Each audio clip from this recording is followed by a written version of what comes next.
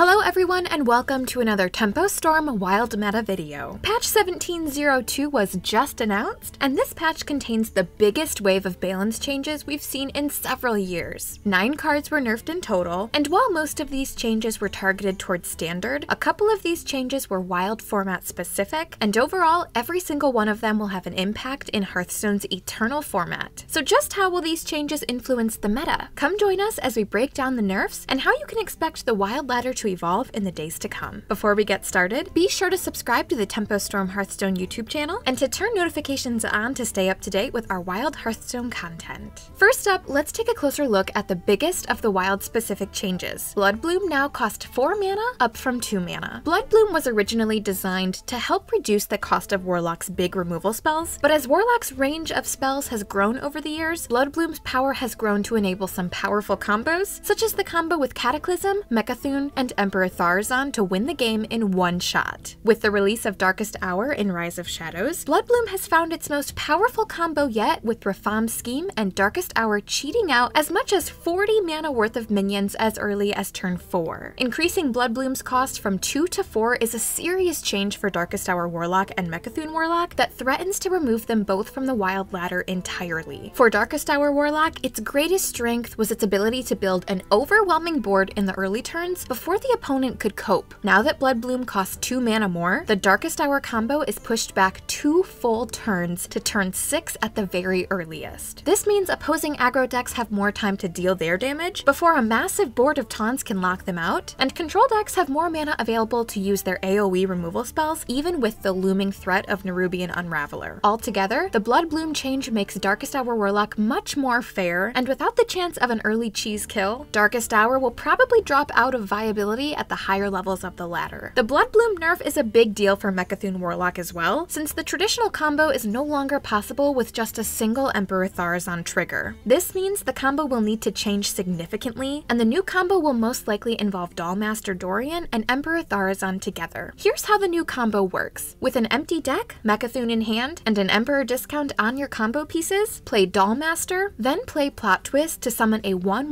Mecha'thun, then play Cataclysm to eliminate the hand, hand, board, and deck and win the game. This combo is similar to the old one in execution, but since there's an extra combo piece, it makes the deck a little more unreliable in the early game, since you're more likely to draw a combo piece when you can't use it against aggro, and more likely to fall to disruption effects like Dirty Rat against control. Overall, while the Bloodbloom nerf doesn't completely cripple the Mecha'thun combo, it does make the deck a little less consistent choice for ladder. The Bloodbloom nerf is a huge blow for Warlock, and while Darkest Hour Warlock might be out out of commission, it's not the only high-tier archetype that the community wanted to see cut down to size. Quest mages have held the top tiers hostage ever since the Snip Snap nerf, and now with the nerf to Open the Waygate, we may finally be free from quest mage's grip. Open the Waygate now requires 8 spells from outside of your deck to complete the quest, rather than 6, which means that the quest takes more time and resources to complete. Will it be enough to kick quest mage out of the top tiers? Let's take a look. Tempo Quest Mage thrives on generating extra spells very quickly, often completing the quest on or before turn 5, usually after a massive swing turn with Flamewaker and Sorcerer's Apprentice. Changing the quest completion from 6 spells to 8 might slow down the deck's KO finisher turn with Time Warp into Giants by a turn or two, but it does nothing to affect the swing turn play patterns with Flamewaker, not to mention the deck's stellar early game turns with Licensed Adventurer and Questing Explorer. In other words, the deck's early game will not change, but will have more trouble transitioning into its late game. This is a big deal against aggro decks since it's harder to take control of the game by using the quest to reverse the board, but against slower decks, you still have plenty of time to complete the quest and assemble the kill. This means that Quest Mage's matchup spread will become even more polarized, which might not make the deck unplayable, but it might be enough to kick it out of the top tiers. What about Reno Quest Mage? Compared to Tempo Quest Mage, Reno Quest Mage is better equipped to play longer games against aggro thanks to the deck's defensive suite and Highlander package. However, since the Highlander deck has fewer cards to complete the quest in general, it may have issues closing out the game against other late game decks and combo decks after the nerf. Will this be enough to knock Reno Mage out of tier 1? It's possible, but Mage's Highlander suite is among the most powerful in the game, so the deck will be far from unviable. Altogether, the nerf to open the Waygate was a more subtle nerf, and only time will tell if it's enough to release the iron grip that Quest Mage has on the meta. The remaining nerfs in this patch are all aimed aimed mostly at standard, but they will have implications on the wild meta. First among them is Kael'thas Sunstrider, whose claim to fame in wild is enabling degenerate combos in druid, such as using innervates and biology projects to fuel zero mana ultimate infestations. Kael'thas's mana cost is increasing from 6 to 7 mana, which will slow down any critical mass push with him by at least a turn, but will that be enough to discourage him from seeing play? Probably not. With the best mana acceleration in the game, and Barnes now becoming more and more popular, it's usually not an issue for Druid to get Kael'thas up and running ahead of schedule. That's not to say that the nerf is completely ineffective. 7 mana Kael'thas does give opposing aggro decks more time to try to cut through Druid's defenses, and it also gives Druid less mana to work with during the combo, making it more likely for the Druid to run out of gas. Even with that being true, this Kael'thas nerf is definitely low impact, and it's not the change the community wanted to see. Many players wanted to see Kael's ability itself changed, such as a change that only allows the third spell to be free instead of every third spell. As it stands now, you can still expect to see decks like Jade Druid dominating the ladder until more is done to bring Kael'thas to heel. Bad Luck Albatross is next up on the nerf list, and while it might be a weaker card than Kael'thas, its nerf is certainly going to have a greater impact. As a 3-mana 4-3, Bad Luck Albatross had a competitive stat line for its cost to go with its disruptive death rattle effect, but after the nerf, the Albatross will be a 4-mana 4-3, which is a much less impressive stat line. The stat to cost ratio may be worse, but the real issue is that at 4 mana, Albatross no longer works with Baku the Mooneater, so decks like Odd Rogue and Odd Demon Hunter lose one of their most effective aggressive tools against Reno decks. Beyond Baku, Albatross has also seen play in Cube Warlock, but that's likely to change since Albatross competes with Voidcaller in the 4 cost spot on Curve. Altogether, a more expensive Albatross affects multiple decks, and with fewer birds out in the wild, you can expect Highlander decks like Reno Priest to reap the benefits. Next up is Frenzied Felwing, and as a 3-3 minion that can be played for free, it has become a solid choice for face decks in Wild, even if it's nowhere near as popular as it is in Standard. The nerf to Felwing brings its stats down to a 3-2 instead of a 3-3, without changing its cost or effect, which means it will still come down just as quickly, but it will be much easier to deal with by trading with weaker minions like Southsea Deckhand, or with removal effects like Defile or Arcane Flakmage. For for decks that live and die by flooding the board like Aggro Druid and Even Hunter, Frenzied Felwing probably still makes the cut, but don't expect the Felwing to be much of a mover and shaker anytime soon. The last of the non-Demon Hunter nerfs is Sacrificial Pact, which now only affects friendly demons. Wild players are no strangers to seeing Sac Pact used in decks like Cube Warlock to combo with Voidcaller and cheat out big demons, and the inability to target enemy minions does not change that combo in the slightest. This nerf does make the card less useful against the occasional Demon Hunter or Cube Warlock mirror match, but the real impact of the Sac Pact change is the removal of Sac Pact from the Zephrys pool. Now that Zephrys can't find a zero mana answer to demons, Reno decks lose one of their biggest answers to big warlocks like Mal'Ganis. Outside of Zephrys, you can expect to see warlocks play Sac Pact about the same amount as before, thanks to the Voidcaller combo, so it's not going anywhere anytime soon. Last but certainly not least are the Demon Hunter changes, which are all having an impact on the class's premier wild archetype, Odd Demon Hunter. Altruis the Outcast now costs 4 mana instead of 3, which strips the Baku fueled deck of its best AoE board control option. Battlefiend has its attack reduced from 2 to 1, which makes it a weaker turn 1 option and reduces the deck's early game damage output against slower decks. Finally, Glavebound Adept has its attack reduced from 7 to 6, and while it's still a solid stat line for a minion with such a powerful battle cry, it makes it harder for the Adept to contest 7 health minions like Squallhunter and Kael'thas. Factor in the loss of Bad Luck Albatross, and all these changes together put Odd Demon Hunter's place in the format at risk. While we still expect the class to be relevant, Demon Hunters will need to make some adjustments to stay competitive. Altogether, this is one of the biggest nerf waves in Hearthstone's history, and while it is certainly not not immune to the changes, so here's where we expect to see things shake out. The Bloodbloom nerf will push Darkest Hour Warlock out of the meta, and force Mecha'thun Warlock to adapt or die. Open the Waygate is slightly weaker, but we don't expect quest mages to go away anytime soon, and the same is true of Kael'thas and Jade Druid as well. Bad luck Albatross's mana cost change is a huge blow to Baku decks, and a huge boost for Reno. Frenzied Felwing and Sacrificial Pact will still see play in the decks that played them despite their nerfs, and Odd Demon Hunter character will need a facelift if it wants to keep up after all of its nerfs. With the loss of Darkest Hour Warlocks, as well as weaker quest mages and fewer albatrosses, the big winners of this round of nerfs are likely to be late game control and combo decks, such as Reno Priest and, ironically, Jade Druid. That being said, Wild is a wide open format, so the full impact of these changes is still up in the air. Let us know in the comments where you think the format will go from here, and as always, be sure to subscribe to our channel and ring the bell to stay up to date with our Wild Hearthstone own content. Thanks for watching.